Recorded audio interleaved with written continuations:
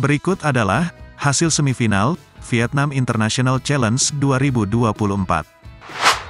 Tunggal Putra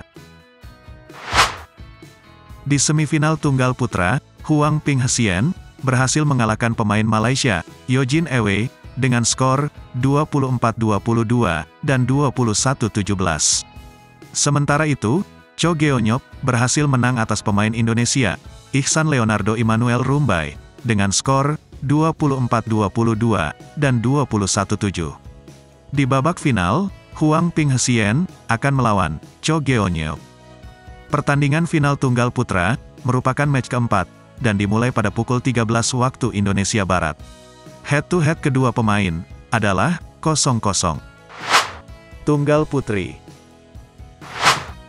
Di semifinal Tunggal Putri, Sim Yujin berhasil mengalahkan sesama pemain Korea, Kim Jo-eung, dengan skor 21-8 dan 21-9. Sementara itu, Kim Garam berhasil mengalahkan pemain Jepang, Akari Kurihara, dengan skor 21-17 dan 21-9. Di babak final, Sim Yujin akan melawan Kim Garam. Pertandingan final tunggal putri merupakan match kedua dan dimulai sekitar pukul 11 waktu Indonesia Barat.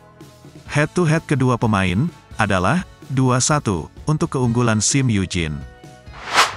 Ganda Putra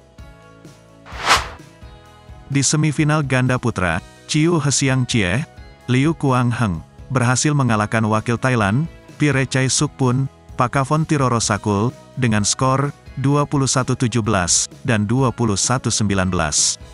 Di semifinal lainnya, Chiang Chien-wei, Wu Yi, berhasil mengalahkan wakil Jepang, Masayuki Onodera, Daigo Tanioka, dengan skor 17-21, 21-13, dan 21-18. Di babak final, Chiu Hesiang Chie, Liu Kuang Heng, akan melawan Chiang Chien Wei Wu Yi.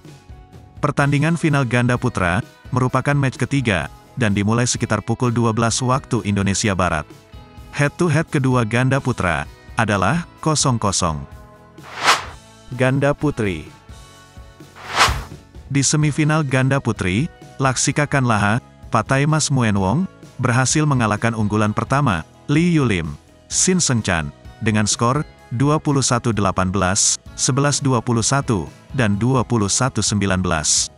Sementara itu, Kokona Ishikawa, Mio Konegawa, berhasil mengalahkan ganda putri Korea, Kim Boryong, Lee Yeonwo, dengan skor 21-9 dan 21-14.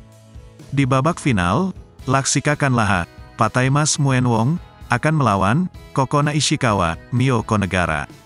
Pertandingan final ganda putri, merupakan match pertama, dan dimulai pada pukul 10 waktu Indonesia Barat.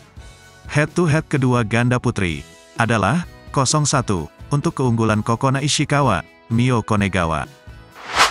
Ganda campuran Di semifinal ganda campuran, Amri Syahnawi, Indah Cahyasari Jamil, berhasil mengalahkan unggulan pertama asal Chinese Taipei, Chiu Hesiang Chieh, Lin Xiaomin, dengan skor 15-21, 21-16, dan 23-21.